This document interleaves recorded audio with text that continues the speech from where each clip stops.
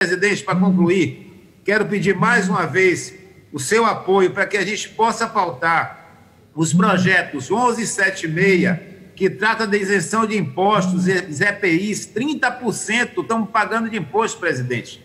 E o projeto 1780, que viabiliza um revalida emergencial. Hoje, o governo federal já está descumprindo a lei do revalida, que garante uma prova semestral com edital saindo 60 dias antes. Hoje o governo federal já descumpre a lei. Então peço sua compreensão, presidente. Os dois já têm requerimento de urgência aprovado por líderes que garante número suficiente para ser pautado o 1176 e o 1780. Mais uma vez, muito obrigado. Obrigado. Deputado Marcelo Freixo.